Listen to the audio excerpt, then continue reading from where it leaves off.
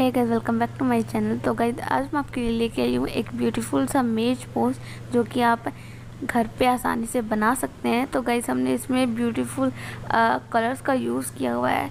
आप इसमें एक कलर का भी यूज़ कर सकते हैं और आप इसमें कई कलर्स का भी यूज़ कर सकते हैं। जैसे कि आप देख सकते हैं, हमने बहुत सारे कलरों का इसमें यूज़ किया हुआ है। और गाइज़ हमने ये बहुत ही ज़्यादा मतलब बड़ा बनाया हुआ आपका जितना मेज हो या आप जिस पे इसको ढकना चाहते हो, उसके हिसाब से कपड़ा लेके आप इसको बना सकते हो। तो गाइज़ ये बिल्कुल ही सिंपल है बनाने में।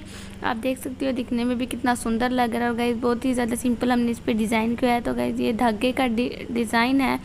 आप ऊन लेके सुई में ऊन डाल के इसको डिज़ाइन कर सकते हो। तो कहीं अगर आपको इसकी वीडियो चाहिए कि इसको कैसे बनाते हैं तो कहीं कमेंट ज़रूर करना।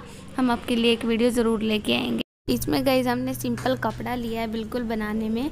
आप मतलब इसमें थोड़े थोड़े डोट है और ये बिल्कुल भी प्लेन कपड़ा नहीं है। हमने यहाँ पे इसके ऊपर उप, डिज़ाइन के नीचे डिज़ाइन इसके नहीं किया है। गईज हमने इसमें बिल्कुल लाइन, लाइनों वाले छोटे छोटे से लीफ बनाए हुए हैं जो कि इस पर काफ़ी ज़्यादा सुंदर लगते हैं।